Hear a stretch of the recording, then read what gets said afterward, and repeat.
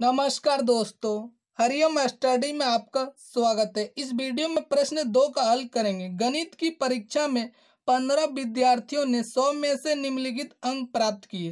देखिए, पंद्रह विद्यार्थियों के द्वारा प्राप्त अंक यहाँ दिया हुआ, अर्थात आंकड़े दिया हुआ है। कहता है, इन आंकड़ों के माध्य माध्यक और बहुलक ज्ञात कीजिए। देखिए, इससे पहले प्रश्न एक अगर आप नहीं देखे हैं तो उसको देख लें, ताकि इसको समझने में कोई दिक्कत नहीं होगा।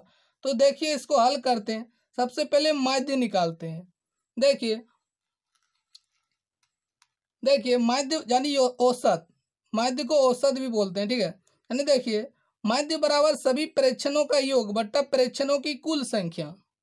यानी देखिए, यहाँ टोटल कितना प्रेक्षण है? पंद्रह प्रेक्षण है, यानी सभी को जोड़ देंगे। और परीक्षणों की संख्या पंद्रह है तो पंद्रह से भाग दे देंगे, ठीक है? तो इस प्रकार लिख लेंगे। देखिए, सभी परीक्षणों को जोड़ेंगे तो ये होगा आठ सौ बाईस। ठीक है? और ये बट्टा पंद्रह। देखिए, पंद्रह से इसको भाग देंगे। देखिए, आठ सौ बाईस। तो ये देखिए, पंद्रह पचे, ये पचहत्तर हो गया। देखिए, शेष कितना बचा? सात। और ये दो उतारे बहत्तर, पंद्रह चौका साठ। यहाँ बारह शेष बच रहा है। अब देखिए दशमलव देंगे, यहाँ ज़ीरो आएगा। तो पंद्रह अट्ठे एक सौ बीस, ठीक है? तो इसका माध्य कितना निकल गया? चौवन दशमलव आठ, यानी औसत निकल गया चौवन दशमलव आठ, ठीक है? अब देखिए, अब क्या निकालना माध्यक, ठीक है? तो माध्यक निकालने के लिए पहले इन प्रेक्षणों को, यानी इन आंकड़ों को आरोही क्रम में पहले लिखना होगा। ठीक है? तो देखिए इस प्रकार पहले इसको आरोही क्रम में लिख लेंगे। देखिए देखिए आंकड़ों का आरोही क्रम यानी इसको बढ़ते क्रम में लिख लिए। ठीक है?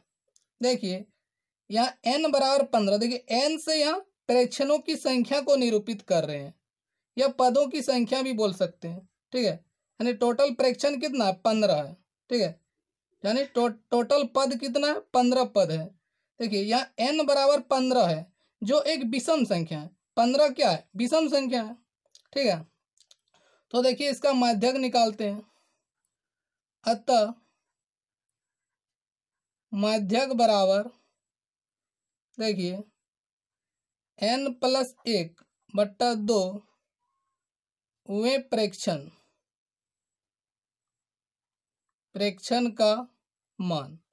प्रेक्षण का मान यह लिख सकते हैं, वे पद का मान, ठीक है?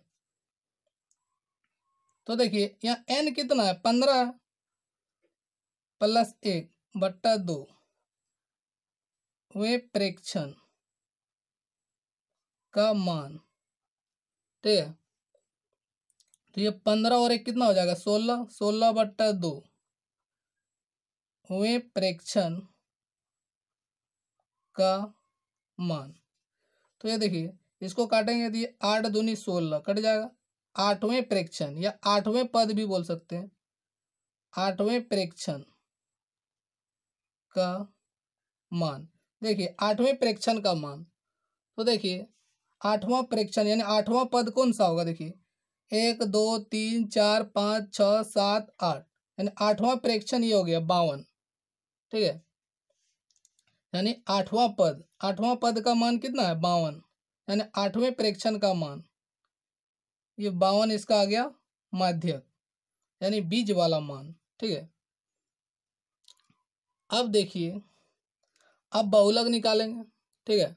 तो बहुलक निकालने के लिए देखिए, आंकड़ों को आरोही क्रम में लिखना होगा। देखिए, ये पहले से लिख लिए हैं। ठीक है? तो इसको दोबारा लिखने की आवश्यकता नहीं है। ठीक है?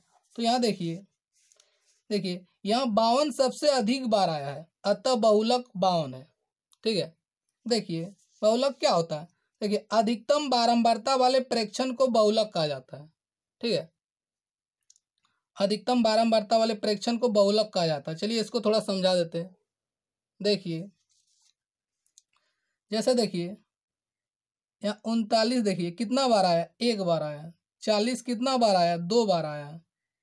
इकतालीस भी देखिए, दो, इकतालीस एक बार आया ठीक है, इकतालीस एक बार आया, बयालीस कितनी बार? एक बार आया, छियालीस भी देखिए, एक बार आया, अड़तालीस भी एक बार, बावन देखिए, तीन बार आया, ठीक है, चौवन देखिए, एक बार आया, साठ भी एक बार है, बौसठ भी एक बार, छियानवे भी एक बार, ठीक है, और अंठानवे भी एक बार आया तो देखिए अधिकतम बारंबारता किसका है? ये तीन।